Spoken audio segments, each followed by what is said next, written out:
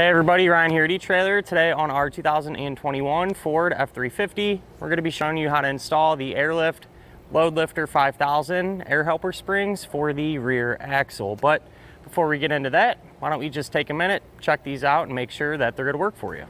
Usually what we like to do is get a bunch of weight. We got a big water tank and put it in the bed of the truck. That way we can get some weight over the axle and really test out those airbags. Uh, today though, bed is full of stuff and we're not going to be shuffling all that around. Um, so we're going to do the next best thing, which is just drive around with our airbags on, unloaded, because I do feel like that's important.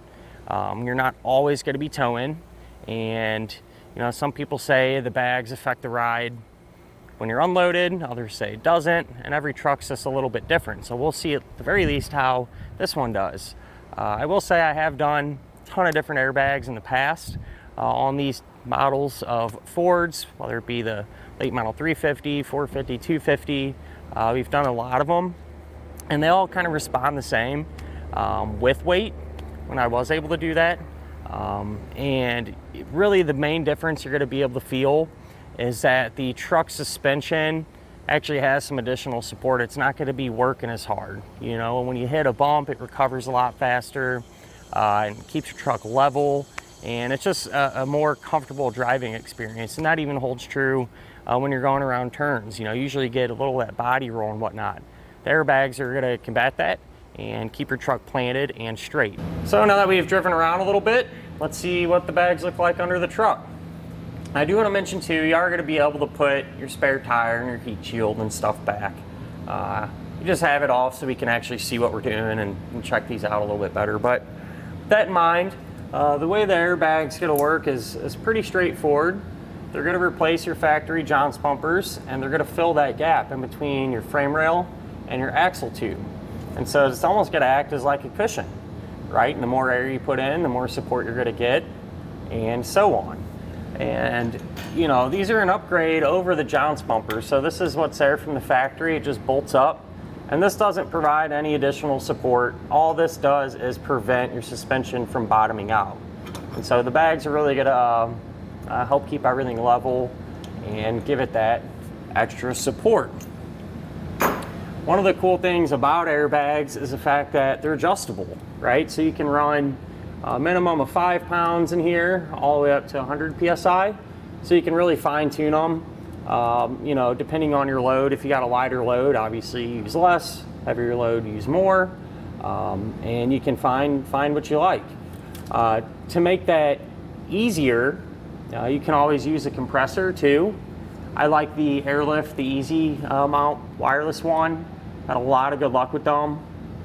Um, and that also, using a compressor will kind of take care of your maintenance as well because the bags do require you to have at least five pounds of air in them right? And if you don't, if you ignore that, the bag could potentially get damaged and, and create a, uh, uh, a hazardous situation. So keep that in mind. You know, on them on them fall days and stuff where it's a little warmer out and cooler overnight, you know, pressures drop. So uh, keep that in the back of your mind. Um, compared to some of the other suspension enhancements, you know, it's really just going to depend on what you're trying to do. There's uh, other ones that are uh, similar to jounce bumpers, right? But they're a lot bigger and beefier and uh, progressive, which means they'll get stiffer as, as the load increases. Uh, essentially, those will just kind of bolt right up and replace those jounce bumpers. I like them, uh, but it kind of depends on what you're going to be doing. Let's say if you're, you know, you, you tow occasionally or something, that might be better because there's no maintenance involved with those. But the downside is they're they're not adjustable, so you kind of get what you get. So uh, having an airbag is, is uh, going to let you fine tune everything to your particular liking. Other than that though, you know, if you're looking for a good way to uh, kind of tweak your suspension, so to speak, and, and, get some extra support, these are going to be a good option for you. Uh, as far as the installation goes, when it comes to airbags, some of them are a real pain to do. Others aren't bad at all, and these uh, fall in that category. They weren't too bad, really. Uh, essentially, uh, with the nicing, essentially you build the whole assembly on the workbench for the most part, and then kind of drop it in and just tighten everything down, bolt it all down, and uh, run your lines, your airlines, and, and that's really about it. So as long as you stay focused, shouldn't run into too many issues. But speaking of that, why don't we go ahead and put them on together now. To begin our installation, we're going to be here underneath the back of our truck. And I temporarily just uh, lowered and removed our spare tire, give us more room to work. Same thing, there's a small heat shield that'll be here. Uh, I took that down as well, just three, uh, three nuts you gotta remove to get that off. And with that said, uh, you're gonna wanna support your truck by the frame rails. So I'm on a drive-on lift, uh, so I'm using a pull jack here to, to put pressure up on our frame. And what we're looking to do is increase the distance between the bottom of our frame rail and the top of our axle tube, just to give us more space to work. It's easier to get the bag in. So for those of you at home, you wanna jack your truck up by the frame. Um, and then obviously use all the appropriate safety measures to uh, to make sure everything's supported properly. But with that said, uh, first things first, we're going to remove our factory jounce bumper, which is this piece here, and that's held in place by two 15 millimeter nuts.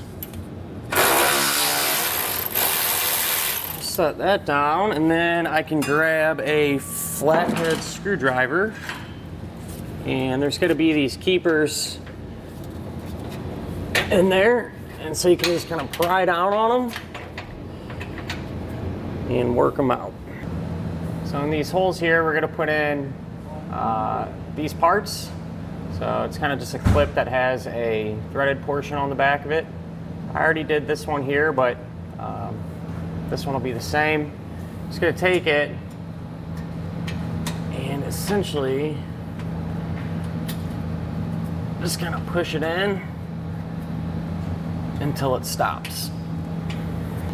Now what we're able to do is grab our upper bracket and so you want to uh, you know position these in a certain manner.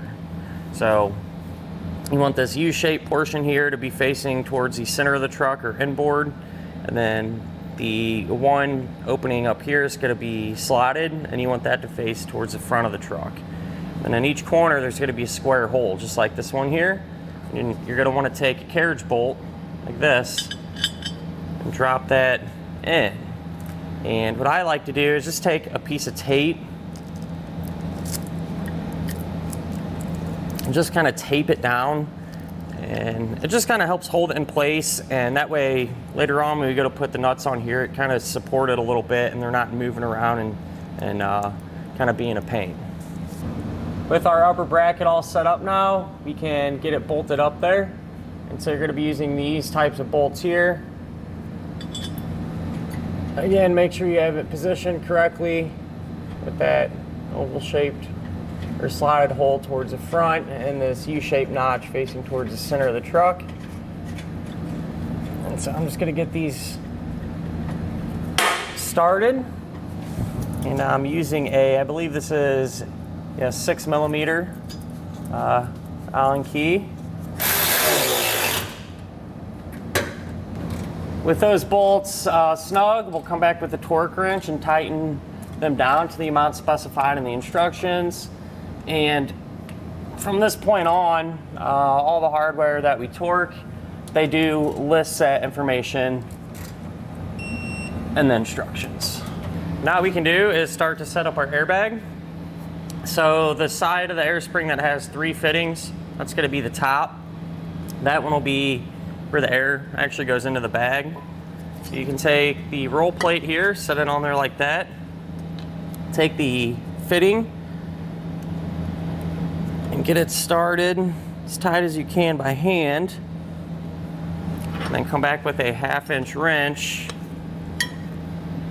and we're gonna tighten it down about another turn and a half. Sometimes I go a little more You can just kind of play it by feel. You know, you don't want it to be super tight because being brass, you can crack it pretty easy. So um, that feels pretty good there. We can take our upper bracket. All right, and you're gonna, how you're gonna do this, so for example, we're obviously on the driver's side, this is gonna face, this bent part's gonna face towards the front, and you're gonna use those inside holes there. So those will line up. Then you can take one of these bolts, a split lock washer, Get a flat washer.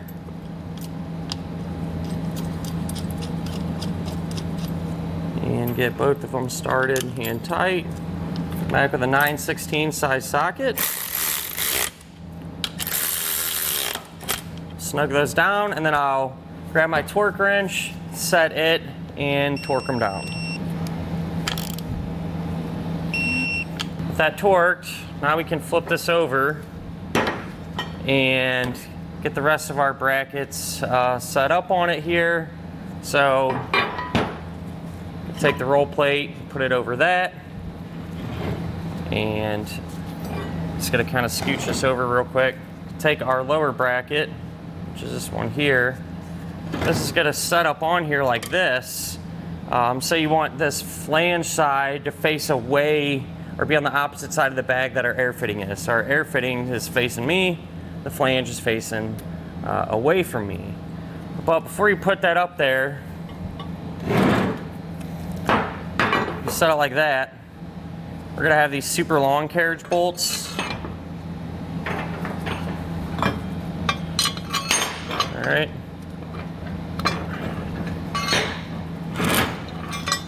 We're gonna put through them holes.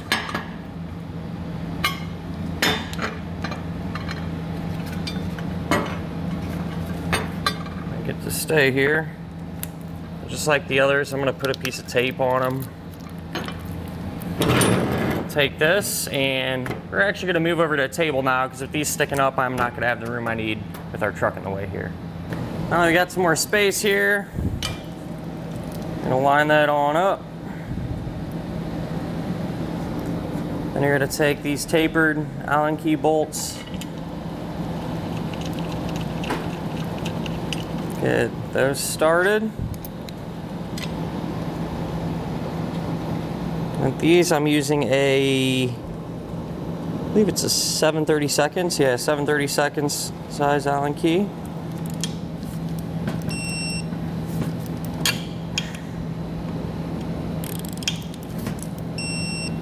We're gonna have this bracket here.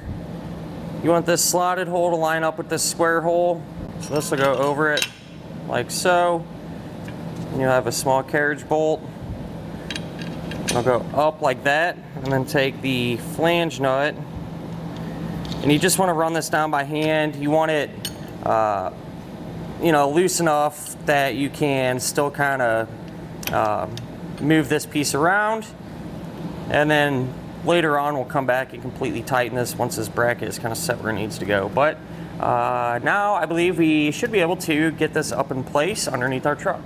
Now we can set our assembly in. When you're doing this, obviously try not to pinch any wires or, you know, just start ripping stuff apart here. Kind of finesse it in there if you can. And this should, this plate here, might have to kind of pull down on it to get it lined up with our bolts up top there.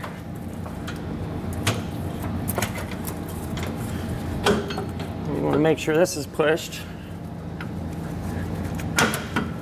flat against the leaf spring pack here and that this uh, piece that we left loose, you want that to, to sit onto the strike plate as well, this little piece above our axle tube.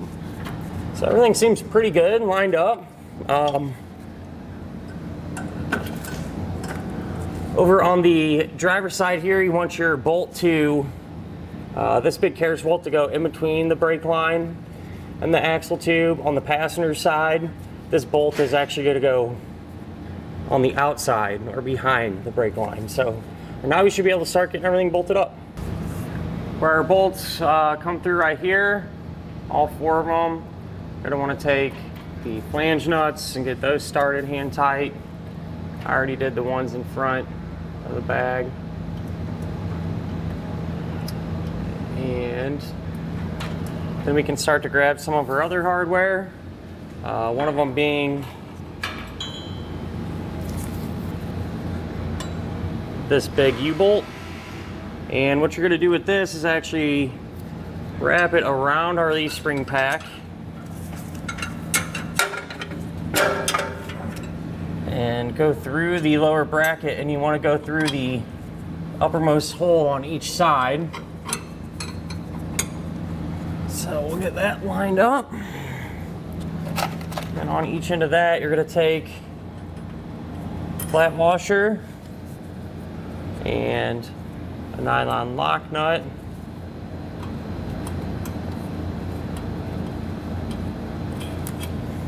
Get that started.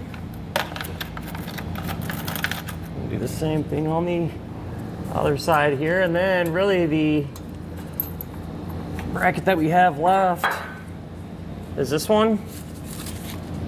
So this will go on our long carriage bolts here. Push that up flat. And again, on each end of that, you're gonna take flat washer and a nylon lock nut.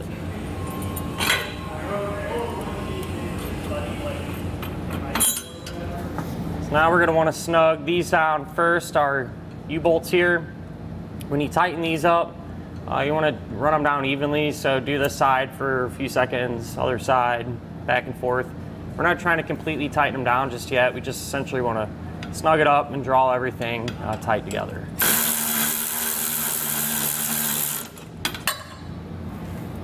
Now we can use the 9 16 to snug up all of these flange nuts up here.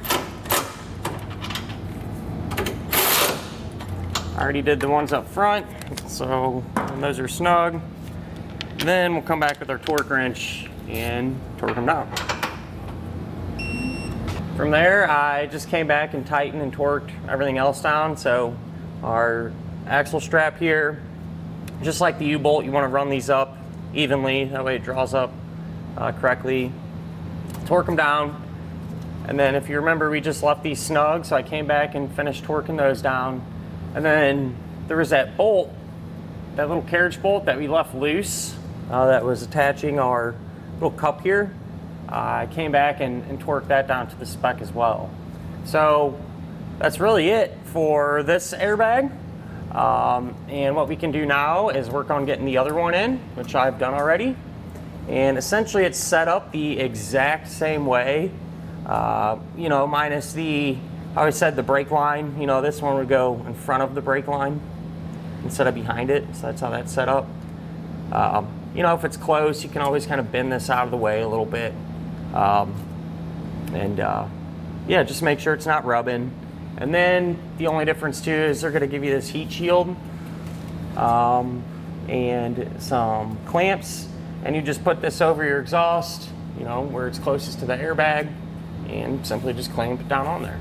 Now that we have both the bags in, we need to figure out where we want to mount up our inflation valves. Um, that way we can mount them up and run our, our air lines over to them. So in most cases, uh, what we usually do is, or what I usually do, is actually take out the license plate screws and the little plastic keepers and actually use our, our valves to come through and not only secure the license plate, but allow you to air up the bags too. Uh, I kind of like it because it's you know, a little more discreet but easy to get to. Or some people like to make a bracket, some sort, put it around the hitch. Um, our customer today, he's, he uses his truck to uh, uh, tow a fifth wheel camper, and so it kind of hangs over, and it's kind of got some back issues and stuff. It sounds like, and so he don't really, he can't really get in between that little opening with this trailer up to put air in the bag. So we're going to do something a little different, uh, and that's what's kind of cool about this. You can get creative and kind of mount these wherever you'd like. Uh, we're actually going to mount up our fittings in the um, uh, behind the fuel cap. So why don't we go over there and see what we're working with. So here we are behind our fuel filler door and uh, I already have one of the sides mounted. Uh, this is the passenger side, but we'll do the driver one together. Um, obviously, wherever you decide to mount this, if you're gonna be drilling through stuff, make sure that you're not gonna drill into something important or you put these in a spot where you know you don't want the airline to be bent super tight and kink or anything. So you do need a little space behind there to have a you know a good sweeping uh, bend in it so you don't kink it. But we're a lot more room behind here than what you think though. So what I'm gonna do is take a drill bit. Uh, I don't know what size this is. Just a shade bit bigger than our actual fitting there. And to get this as close as I can. Oh, it looks good. Roll that out. Then I'm gonna come in from behind there and get our fitting through there. So before we put this, you know, coming from the back and push this through our hole that we made, you wanna take uh, one of the nuts there. And I'm just gonna thread that on all the way down. I'm gonna reach up behind here and push this through, and we'll show you this in just a sec. From the bottom side, push that through, and you're gonna take the rubber washer, push that on, followed by a flat washer, a star washer,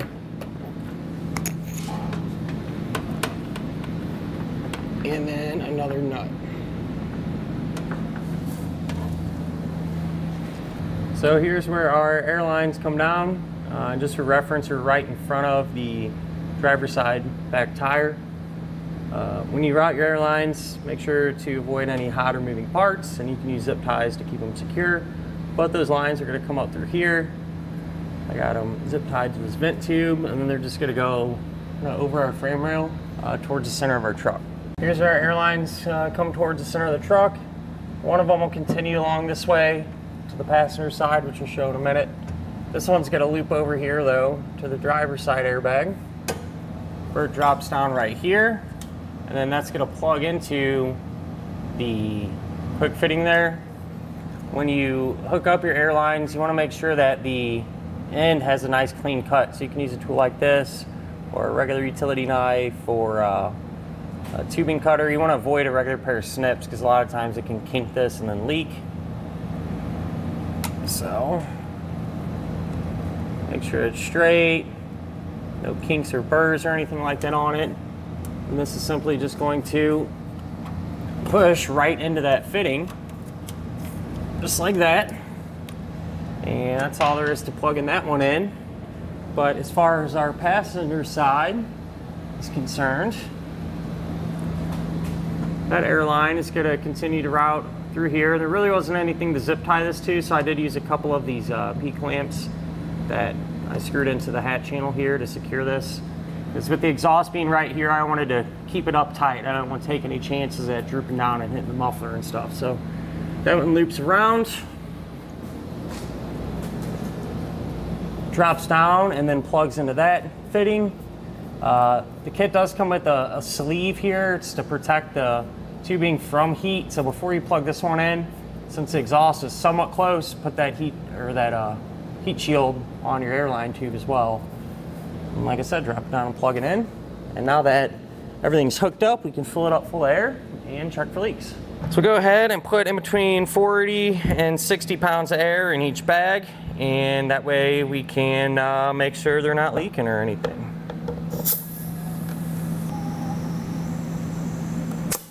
Check for leaks, uh, I simply just sprayed everything down with soapy water and what we're looking for is for bubbles to rapidly and continuously be forming.